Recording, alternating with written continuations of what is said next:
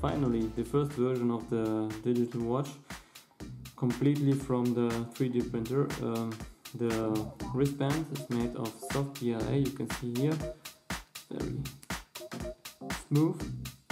And uh, the watch housing is made of uh, ABS. On the right side of the watch you can see one button that controls all the functions of the watch. I wanted to keep all the functions very simple and clear to understand. The watch can display time and date with 12 bicolored LEDs around the watch face. In the middle you can see the status LED which shows whether PM or AM time is displayed. The first key press enables the watch for about 6 seconds and the current time is displayed. Another key press on the bottom and the watch switches into the second mode, the date mode. It shows the current date. And if you press again on the button, it switches back to the time mode. In time mode, one green LED indicates the current hour. The red LED and the orange LEDs indicate the current minute.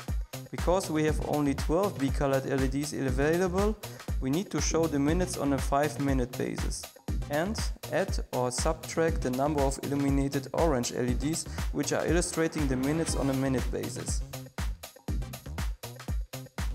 We cannot hold the watch all the time enabled.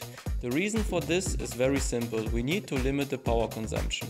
Keep in mind that in this application in standard coin cell is used as power source and even though we are using very low power LEDs with a power consumption of 1 milliamps each, the coin cell's typical discharge current is about only 10 microamps to achieve a lifetime of a couple of months. This is the reason we need to limit the runtime of the watch and shut it off if we don't need it. If you want to adjust the time, you just need to keep the button pressed for about 3 seconds when you are in time or in date mode. Blinking LEDs indicate that the watch is in just mode and that you can simply increment hours or minutes by pressing on the button. The current hour is saved if you are pressing the button again for 3 seconds. And with the same procedure also the minutes can be adjusted. The time is not saved in the case of a timeout of about 10 seconds. The date can be adjusted by the same process. You just need to be in date mode and press the button for 3 seconds again.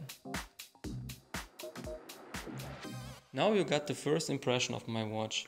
In general, I wanted to keep the control of the watch very simple by using only one button.